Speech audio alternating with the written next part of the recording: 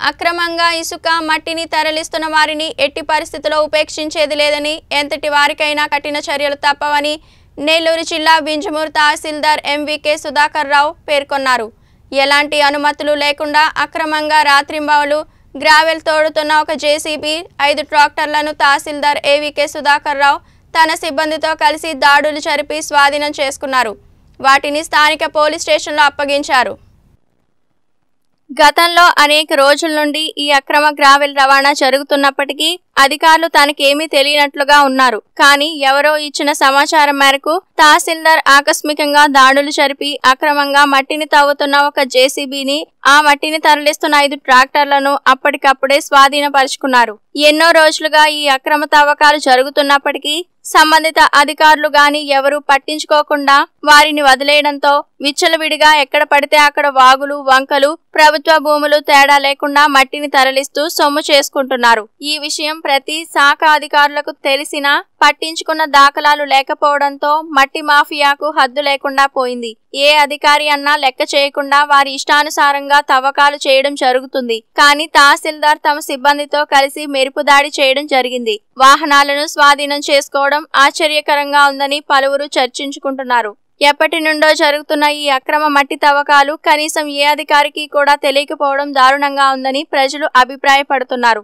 స్వాధీనం చేసుకున్న ట్రాక్టర్లు జేసీబీని స్థానిక పోలీస్ స్టేషన్లో స్వాధీనపరిచి వారిపై క్రిమినల్ కేసులు నమోదు చేయాలని మైనింగ్ శాఖ అధికారులకు పోలీస్ శాఖ అధికారులకు ఆయన తెలియజేశారు.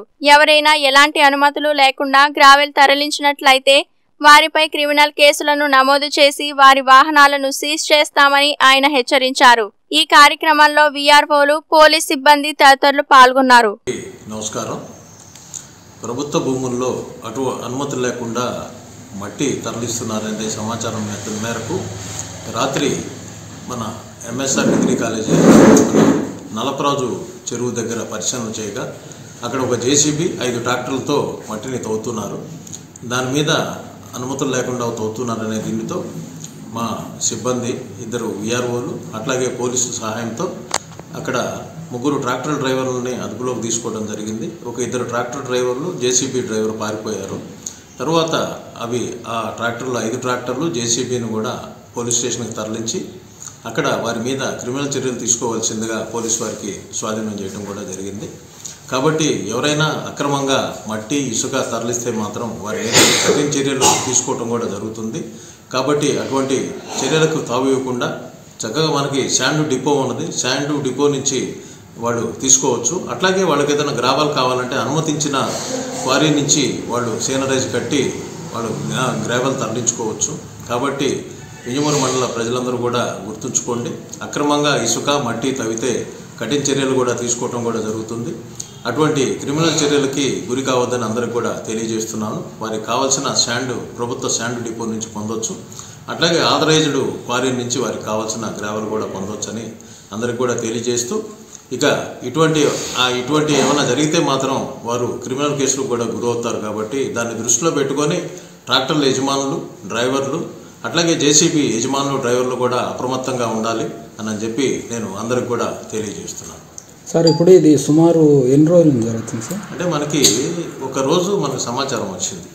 ఏది? మన ప్రెస్ వాళ్ళు వచ్చి ఇట్లా నల్ల మల్లపురాజు వాగ్దో వాళ్ళు జరుగుతుందండి అని చెప్పన్నారు. వెంటనే మన ఆర్ఐలను విఆర్ఓలను అక్కడ పంపిస్తే అక్కడ ట్రాక్టర్లు కానీ జేసీబీలు కానీ లేవు. ఆ ప్రదేశాన్ని కూడా నేను కూడా పరిశీలన చేశాను. చేస్తే మట్టి తవ్విన ఆనవాళ్ళు ఉన్నాయి.